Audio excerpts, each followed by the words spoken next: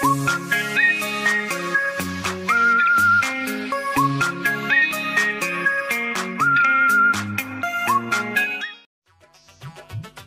आपने जीवन बीमा प्रीमियम को लेट चार्ज कसरी निकाल्ने थाहा पाउनुहोस् नमस्ते साथीहरू आज यो भिडियोको माध्यमबाट नेपालमा जति पनि जीवन बिमा कम्पनीहरू छन् र उहाँको समस्त अभिकर्ताको लागि र समस्त बिमितहरूको लागि यो भिडियो अत्यन्त नै उपयोगी र महत्त्वपूर्ण हुनेवाला छ। साथीहरू, जब कुनै मानिसले जीवन बिमा नि, त जीवन बिमा कम्पनीले के गर्छ? त्यो मानिसलाई रकम तिरेको रसिद दिनुहुन्छ। त्यसपछि एउटा पोलिसी पेपर दिनुहुन्छ, बिमा लेख त्यो बिमा लेखमा, जीवन बिमा गरेको मानिसको सम्पूर्ण विवरण हुन्छ। नाम थर ठिकाना, जन्ममिति, त्यसपछि हकवालाको पनि विवरण हुन्छ।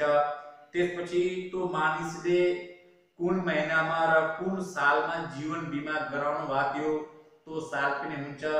र अन्तिम प्रिमियम तिर्ने मिति कुन साल हो, त्यो सालको पनि वर्णन हुन्छ। त्यसपछि त्यो बिमा लेखमा मानिसले कुन प्लान लिएको थियो कुन पोलिसी लिएको थियो र कतिको जीवन बिमा गर्नु भएको थियो र त्यो जीवन बिमाको प्रिमियमको रकम कति छ त्यो सबै लेखेको हुन्छ बिमा लेखमा त साथीहरू प्राय मानिसले पहिलो वर्षको प्रिमियम तिर्छ सबै डकुमेन्टहरू प्राप्त गर्नुहुन्छ। तर जब अर्को वर्ष आउँछ प्रिमियम तिर्नेको बेलामा त कुनै कुनै बिमित या त आफ्नो काममा बिजी हुनुहुन्छ या रकमको अभाव हुन्छ त एउटा कुरा तपाईँ के बुझ्नुहोस् कि कुनै पनि जीवन बिमा कम्पनीले आफ्नो आफ्नो बिमितको लागि थप एक महिनाको टाइम दिन्छ प्रिमियम तिर्नको लागि।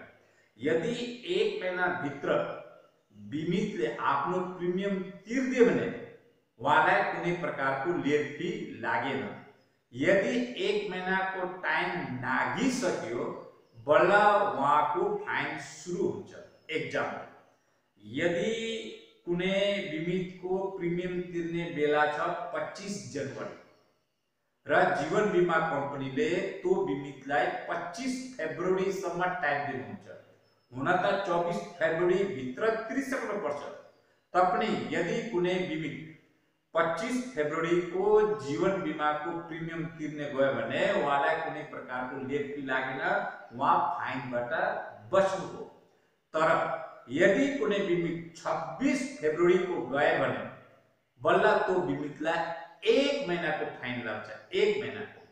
त साथीहरू, फाइन कसरी क्यालकुलेट गर्ने? फाइन जीवन बिमाको प्रिमियमको माथि निर्भर गर्छ।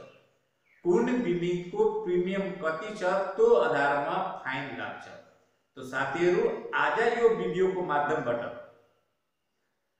तपाईँ घरमा बसेर चाहे बिमित हुनुहुन्छ या नयाँ अभिकर्ता हुनुहुन्छ अब तपाईँ घरमा बसेर या अफिसबाट नि बसी बसी तपाईँ क्यालकुलेट गर्नुहोस् र तपाईँले प्रिमियम नतिरेको कति महिना भयो दुई महिना भयो कि तिन चार महिना भयो कि छ सात महिना भयो अब तपाईँ सजिलै क्यालकुलेट गरेर थाहा पाउनुहोस् कि तपाईँलाई फाइन कति लाग्यो।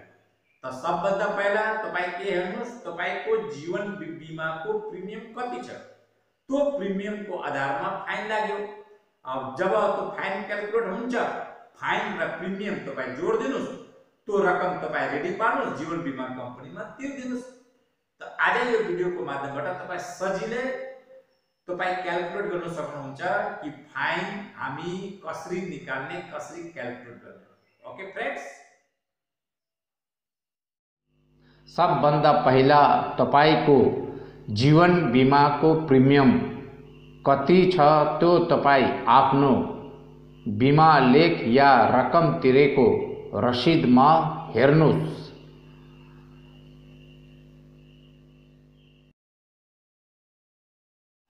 Example yearly premium fifty thousand only यदि तपाईँको जीवन बिमाको वार्षिक प्रिमियम पचास हज़ार रुपैयाँ छ भने तो पचास हजारको दस प्रतिशत निकाल्नुहोस् पाँच हज़ार रुपैयाँ हुन्छ त्यो पाँच हजारलाई तपाईँले बाह्रले डिभाइड गरिदिनुहोस् चार सय सोह्र रुपैयाँ छ्यासठी पैसा हुन्छ अर्थात् यदि तपाईँको वार्षिक प्रिमियम पचास हज़ार छ र एक महिनाको लेट फ़ी लागेको छ चार सय सोह्र रुपियाँ छ्यासठी पैसा तिर्नुपर्छ, अर्थात् चार सय सत्र रुपियाँ तिर्नुपर्छ।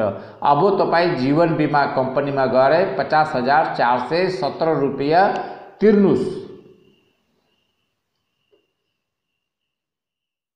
जीवन बिमाको इयरली प्रिमियम यदि पचास हज़ार रुपियाँ छ भने एक महिनाको लेट फ़ी लाग्यो चार सय सोह्र रुपियाँ छ्यासठी पैसा। यदि कसैले छ महिनासम्म प्रिमियम तिरेको अर्थात् उहाँलाई छ महिनाको लेट फ़ी भने तो बिमितलाई तिर्नुपर्छ। चार सय सोह्र रुपियाँ छ्यासठी पैसालाई तपाईँले छले मल्टिप्लाई गरिदिनुहोस्। दुई हज़ार चार सय उनान्सय रुपियाँ उनान्सय पैसा हुन्छ, अर्थात् पच्चिस सय। तो बीमितलाई पचास हज़ार प्लस पच्चीस से, अर्थात बावन हज़ार पाँच सौ रुपया रकम तीर्न पर्छ जीवन बीमा कंपनी में